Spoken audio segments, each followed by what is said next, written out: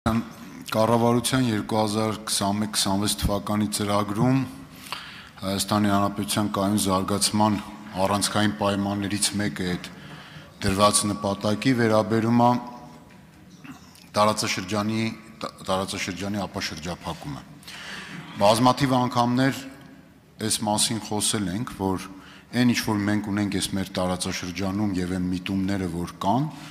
Թուրքիա եւ Ադրբեջանի կողմից, դրանք ոչ թե դասական իմաստով ապաշրջափակման մասին կամ ինտեգրման, տնտեսական ինտեգրման մասին է, այլ ընդհանրապես པարզ կողարկված նաև գործիքներով Հայաստանի Հանրապետության տնտեսությունը տնտեսությունը փափուկ ուժի միջոցով բռնազավթելու կամ այսպես ներխուժելու հիմնական միտումները պարունակում։ Հիմա երբ որ դա խոսում էինք ամիսներ առաջ, կապաստարկ հետեւյալն էր, որ տեսեք, առաջընթաց կա, օթային ճանապարհը բացվեց Հայաստանի համար, տեսեք ինչքան բեռներ, խոսքով տնտեսական օգուտներ էր հաշվարկվում եւ տենց տարբեր գույնի երազներ։ Հիմա փաստացի ինչ է ստացվում, այսինքն Հայաստանի Հանրապետությունը ինքնիշխան պետություն ընդհանրապես մի հուշարձան ենք կառուցում, որը շատ տեղին է եւ նույնիսկ ուշացած եւ Նեմեսիսի հուշարձանի կառուցումը փաստորեն ժամեր հետո դառնում է Թուրքիայի կողմից, այսպես ասենք, այդ բացած օթային ճանապարհի կամ պատկերավոր ասած այդ մեզ տրված իրենց այդ բարե բարեգութության այսպես օղակը փակվում է եւ դրա մասին իրենք շատ པարզ ասում են։ Հիմա հարցը հետեւյալն է։ Այսինքն մենք այս տնտեսական թվացial ինտեգրման կամ ապաշրջափակման քողի տակ կամ այդ նպատակով ինչ գին ենք վճարում ինքնիշխանությունը մեր թե այլ գին ինչն ենք զիջում որ զարգանանք ճակերտավոր հարցում էր ուղղված ներողություն Հարցին կպատասխանի Հայաստանի Հանրապետության վարչապետ Նիկոլ Փաշինյանը, համեցեք վարչապետ։ Շնորհակալ եմ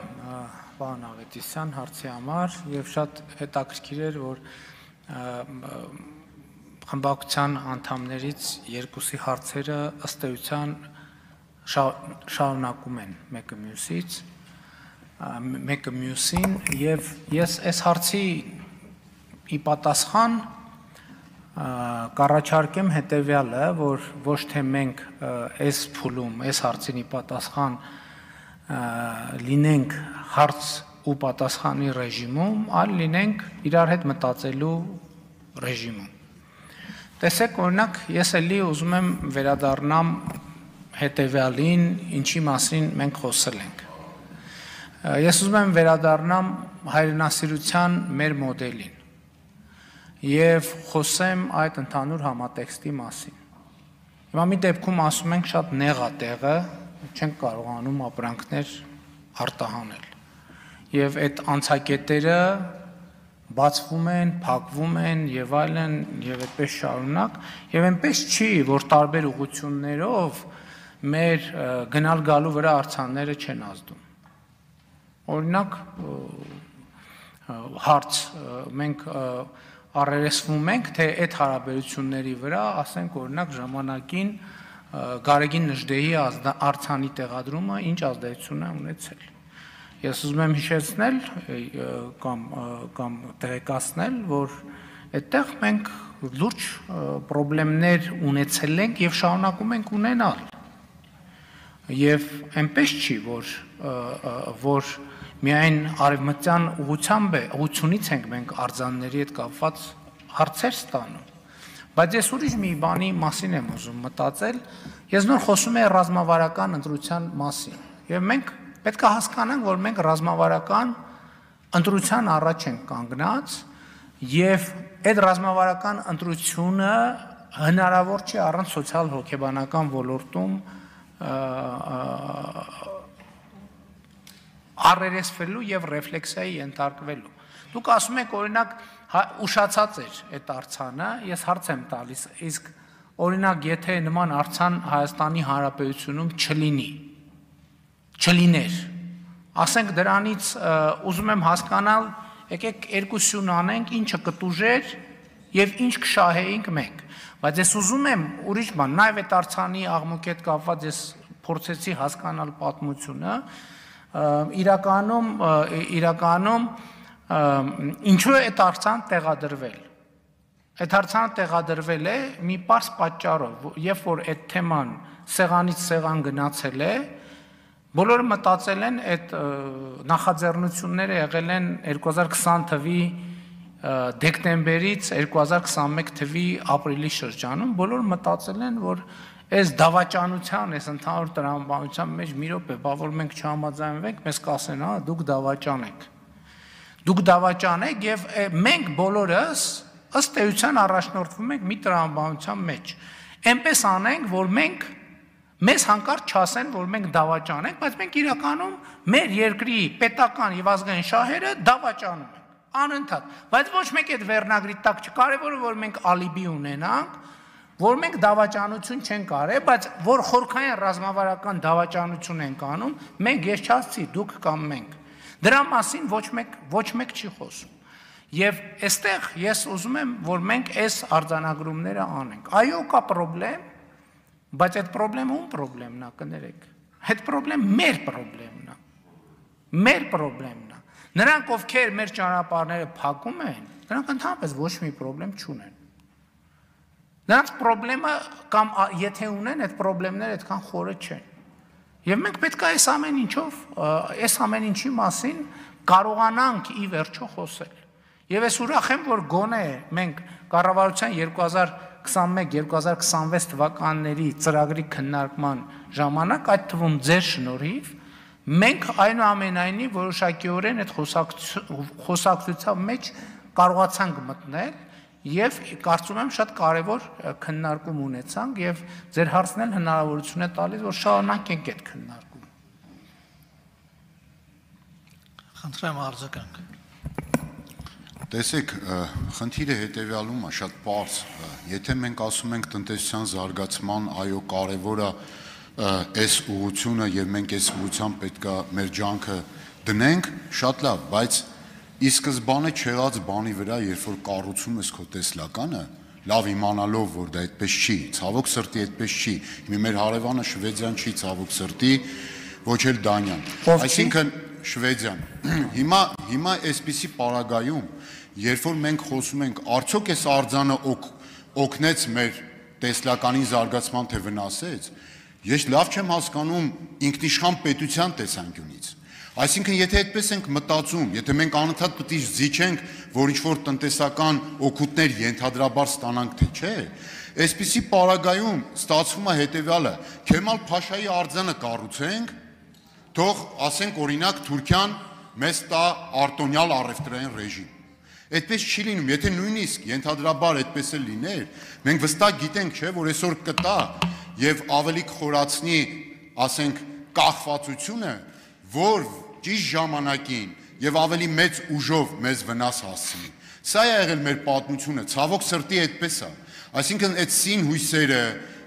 արեստացին ինչ որ այդ գաղափարները եւ այլն, որոնք առավելապես կարծում եմ քաղաքական, նեղ քաղաքական շահադրթվածություն ունեն, Դրանք որևէ կերպ մեր ազգային շահերից ելնելով, մեր երկրի զարգացման ներողություն ավարտում եմ, զարգացման շահերից ելնելով որևէ կերպ չեն կարող հերանեկար լինել։ Այսինքն մենք զիջենք ինքնիշխանություն, զիջենք մեր ազգային շահը, որ ինչ անենք, որ կարճաժամկետ ենթադրենք Թուրքիայից 2 կոպեկ ապրանք բերենք ու ասենք մի քանի կոպեկի մի քանի մարդ շահույթ ստանա կամ գերշահույթ։ Սա չի կարող լինել զարգացման օրակարգ։ Իրականում շատ կարևոր հարց եք բարձրացնում, շատ կարևոր, բայց այդ կարևոր հարցի մեջ կա մի կարևոր կոմպոնենտ։ Վախենամ մենք Շվեդիայի ու Ֆինլանդիայի պատմությունը այդքան էլ լավ չգիտենք, որովհետև մենք հիմա այսօր նայում ենք քարտեզին, ասում ենք այն բանի նման Շվեդիա ու Ֆինլանդիա։ Մենք ես անկեղծ ասեմ, ես էլ լավ չգիտեմ Շվեդիայի եւ չէ չէ չէ շատ լավ ես էլ Շվեդիայի ու հարգելիս շատ լավ մի րոպե ելի եմ ասում, այ երկու ռեժիմ կա։ Հիմա դուք ընդեղից եք գոռում, ես տեղից, կամ դուք այդտեղից ասում եք, ես լսում եմ, ես էլ այստեղից եմ ասում, դուք եք, շնորհակալ եմ, ձեզ չէր վերաբերվում։ Հա, ես կարծում եմ, որ մենք լավ Շվեդիայի, Ֆինլանդիայի, Նորվեգիայի պատմությունը ես էլ չգիտեմ, բայց ես գիտեմ, որ այսօրվա Շվեդիան, Ֆինլանդիայի եւ Նորվեգիայի հարաբերությունը այնպես չի, այնպես չի, որ տենց տենց է եղել։ Արնվազն, արնվազն ինքը նման է եղել շատ մեր տարածաշրջանի հարաբերություններին։ Եվ գիտեմ նաև, որ ժամանակին գաղափարել է եղել, ասել են եկեք այն մոդելը, որը Սկանդինավիայում է, եկեք այդ մոդելով փորձեք գիրառեք եւ կարողա ձեր տարածաշրջանային խնդիրներն է լուծեք, մենք ասել ենք չէ։ Մենք ասել ենք չէ եւ ընդ որում բոլորս ես էլ, դուք էլ, բոլորս համարել ենք, որ ճիշտ ենք ասում, որ ասել ենք չէ։ Հիմա արձանների թեմայով Գիտեք, ես հիմա նոր հիշեցի, որ ես նույն այն ժամանակ падգամավոր էի, եւ երբ որ ես արձանների թեմայով մտածում էի, ես արձանագրեցի, որ Հայաստան, հա, ու ես հիշում եմ ինչ առիթով ես դա բան եղավ, Իջևանում աշոտ երկաթ արքայի արձաններ կանգնեցվեն, շատ ուրախացել է։ Հետո արձանագրեցի, որ լսեք, հələ մեր երկրում թագավորների արձաններ չկան։ Մեր երկրում նույնիսկ թագավորների, մեր արքաների անունով փողոցները շատ քիչ են։ Կա Արշակունյաց, տենց ընդհանուր կա Բագրատունյաց, էլի տենց ընդհանուր։ Ես ձեզ ավելին ասեմ, մենք մենք ինչ արեցինք։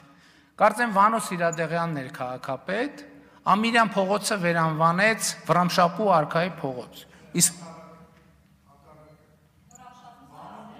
Հա, լավ, վստահ եք։ Հա, ես ուրեմն ինչ որ բան լավ չեմ հիշում, եկեք սենց անենք։ Լավ, այնուամենայնիվ կար ժամանակ, երբ Ամիրյան փողոցը Երևան քաղաքի անվանվեց Վրամշապու արքայի։ Այստեղ էլ մի կարևոր թեմա, ես կներեք, էլի հարց տվողը, ես մի քիչ ավել ավել եք ասել, ես էլ արձագանքի մեջ ավել ասեմ։ Այս վերջերս ընդամեն նախորդ շաբաթ մեր կուսակցությունում քննարկում ունեցանք եւ ես այս նրբությունը արձանագրեցի։ Մեր պատմության մեջ արձանագրված է հստակ եւ դա ճշմարտություն է, որ հայոց գրերը ստեղծել են Մեսրոբ Մաշտոցը եւ Սահակ Պարթևը։ Սա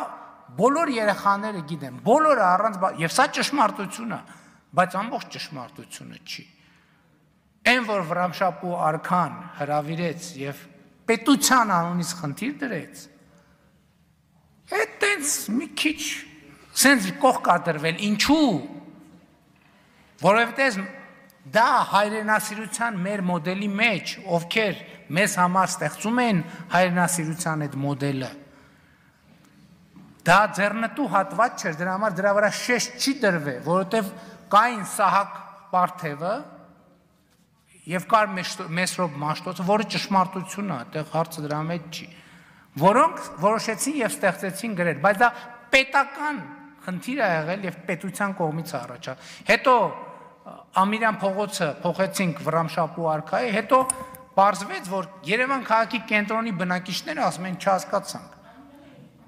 Էս էս ինչ անուն վրամշապոզ որն է։ Ամիր հետո էլի այո, փոխվեց Ամիրյան։ Փոխվեց ընդ որ մանհատները էական չեն։ Այստեղ այդ մոդելի ճնշումն է էական, հասկանում եք, որ մեր մեջ, մեր մեջ բոլորի ինձնից սկսած, այս որ սենց խոսում եմ, Ձեզ թվա թե այդ այդ ինչ որ դուք ասում եք, ես չեմ հասկանում կամ ընդունում, բայց այդ մոդելը իր մամլիչով սենց ծռում է եւ ամեն ինչ դնում է իր տեղը։ Եվ եւ մենք անընդհատ վճարում ենք դրա համար մեր պետական շահով, որովհետեւ ասում եք տնտեսություն, տնտեսություն, էլի էլի առանց տնտեսության հնարավոր չի ոչ մի բան։ Ոչ մի բան հնարավոր չի։ Ոչ արտաքին քաղաքականություն, ոչ անվտանգություն, ոչ բանակ, ոչ ազգային, ոչ մի բան հնարավոր չի։ Ոչ մի բան հնարավոր չի։ Եվ հետեւաբար, այսօր կներեք, երկրները պետական շահ ասելով ի՞նչ նկատի ունեն։ Առաջին հերթին տնտեսական շահ նկատի ունեն։ Ամբողջ Եվրոպայի հարաբերությունների համակարգը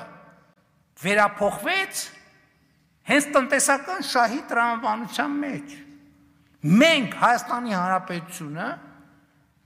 կամ երբեք չի առաջնորդվել կամ հիմնականում չի առաջնորդվել տնտեսական շահով։ Մենք էմոցիոնալ շահով ենք առաջնորդվել Եվ այո, մենք